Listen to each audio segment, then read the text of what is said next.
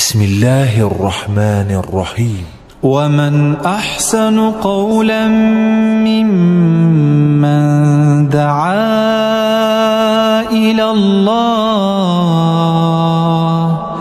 دعا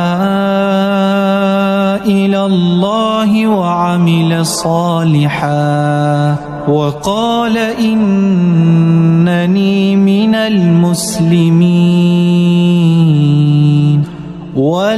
تستوي الحسنة ولا السيئة. ادفع بالتي هي أحسن. فإذا الذي بينك وبينه عداوة كأنه ولي حميم.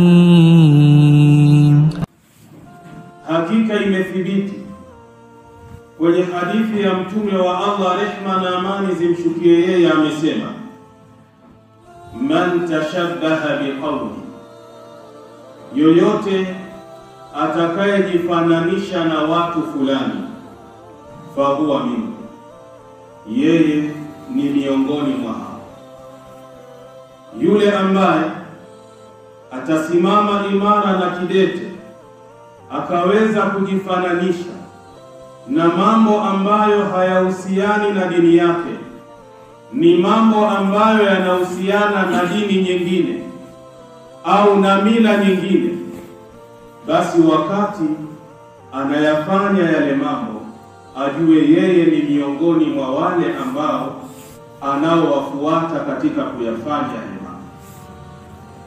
Hii ni hadithi ambayo ni sahihi, kaipokea Abu Daud kwa nambari 1431.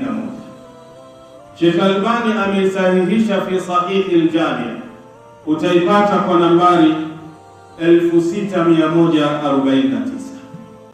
Wa fi riwayatin ukhra, katika riwaya nyingine ya hadithi, yani pokezi nyingine ya hadithi, Mtume sallallahu alayhi wasallam anasema laisa minna sio miongoni mwetu, sio katika sisi. Mtu gani huyo? Man tashabbaha bighairina, yule ambaye atajifananisha na watu wasiokuwa sisi. Maana yake iko kinyume na mafundisho ya Mtume Muhammadi sallallahu alayhi wasallam, na yupo kinyume na mafundisho ya dini yetu.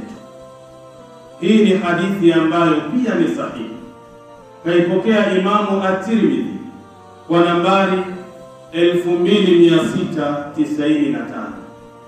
Sheikh Albani ameisahihisha hadithi hii katika kitabu chake As-Silsilatu Sahiha kwa nambari 2194.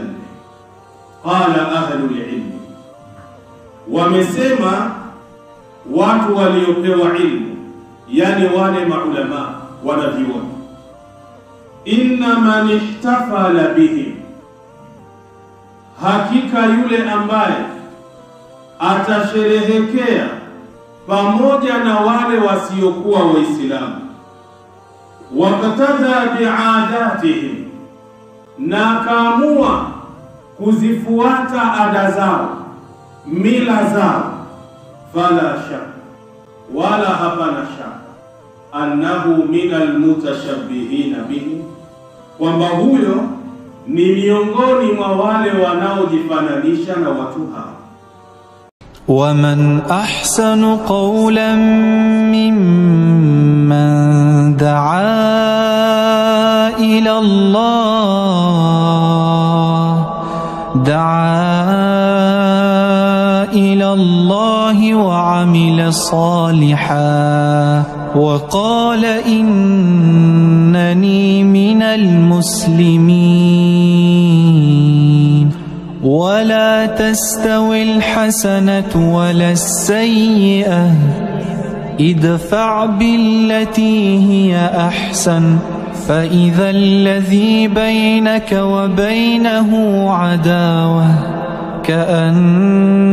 له ولي حميد.